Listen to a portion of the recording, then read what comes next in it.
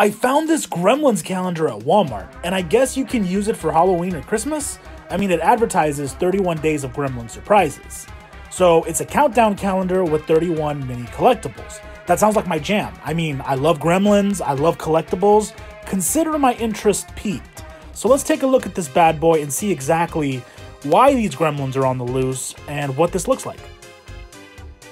When opened, the calendar is modeled after the movie theater scene in the original Gremlins film. It has some good detail, so this cardboard can be used for recreating that scene. As you can see, you can pull up the chairs. So that's pretty neat. It's kind of like a usable diorama.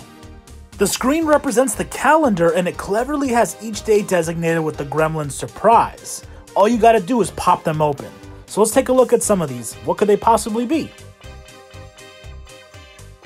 But you can also slide these collectibles out of the packaging without damaging the screen. And just looking at this, it is much cooler than I anticipated, with a good mixture of different gremlins from both the first and the second movie. But let's take a closer look.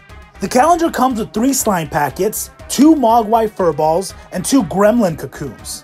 It comes with a total of 9 mini Mogwai figures, 3 gizmos, a Rambo, Standard, and Christmas variants, two stripes from Gremlins 1, one holding a chicken leg, and lastly, all four Mogwai from the new batch. We have Energetic Daffy, Grumpy George, Goofy Lenny, and Scary Mohawk.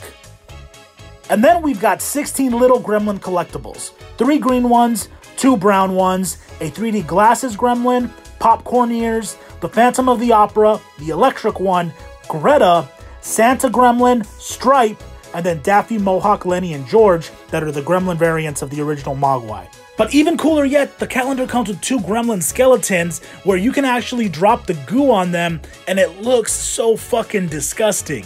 It's awesome.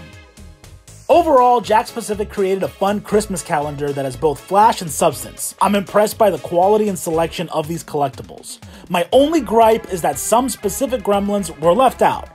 I wish they had given us a brain gremlin from the new batch or the flasher gremlin that was in both movies. But that's just a small nitpick. Overall, it's still very cool, and I actually picked up some additional calendars so I can increase my gremlin collection. There's nothing cooler than having a pocket full of mini gremlins.